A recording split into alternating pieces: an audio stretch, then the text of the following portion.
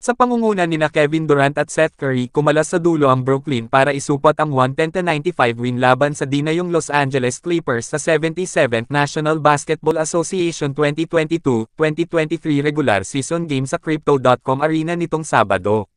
Tumapos si Durant ng 27, dinagdagan ni Curry ng 22. May 13 points 14 rebounds pa si Nick Claxton at apat hanggang isa na ang net sa pool ng bagsakan ng team ng suspension si Kyrie Irving. We're going to have to be one of those teams that any given night somebody will have to step up and make huge plays for us bida ni KD. Inalat sa 5 of 21 shooting sa field si Paul George tungo sa 17 points para sa Clippers. Inayudahan ni Ivica Zubat ng 16 markers 15 boards. Abante pa ang LA 86-84 kulang 8 minutes nang mangulit ang Brooklyn. Tinampukan ng dalawang sunod na tres ni Curry, layup ni Claxton at tatlo din ni Royce O'Neal ang 20-2 run na nagbigay sa mga dayo ng 104-88 lead.